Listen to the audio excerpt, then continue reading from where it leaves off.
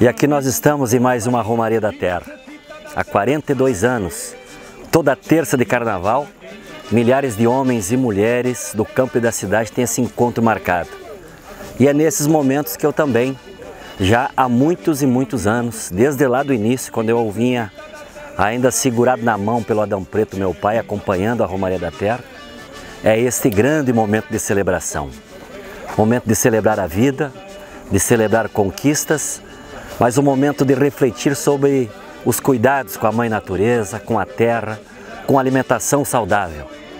E é justamente pautas como essa que são expressão da Romaria da Terra, que são também bandeiras que eu carrego no nosso mandato. É alimentação saudável, é resistência, identidade e direitos. Isso é o enfoque desta romaria importantíssima que está acontecendo aqui em Itacurubi. Nós queremos dizer que é caminhando que a gente vai é, afirmando o caminho, caminhando com uma direção, a direção em torno da justiça, da igualdade e da fraternidade. Mas nós estamos reunidos aqui pela fé, né? a fé, a fé num, num mundo de igualdade, de justiça e de fraternidade. Só tem alimentos saudáveis, com sementes saudáveis, crioulas e limpas.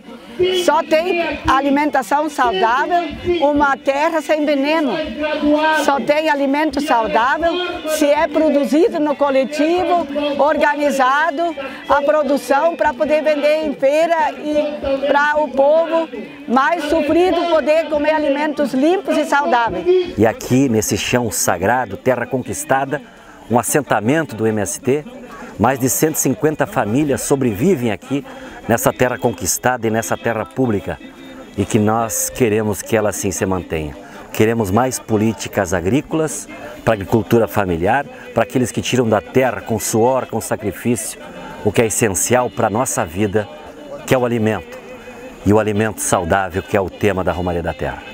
Até a próxima Romaria da Terra, que vai ser, se não me engano, em Cruz Alta. Até lá e a boa luta não merma nunca.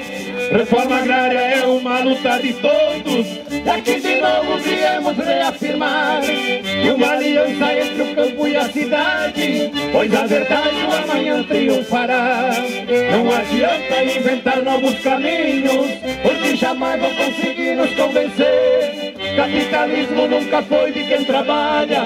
Nosso direito só a luta faz valer. Capitalismo nunca foi de quem trabalha. Nosso direito só a luta faz valer.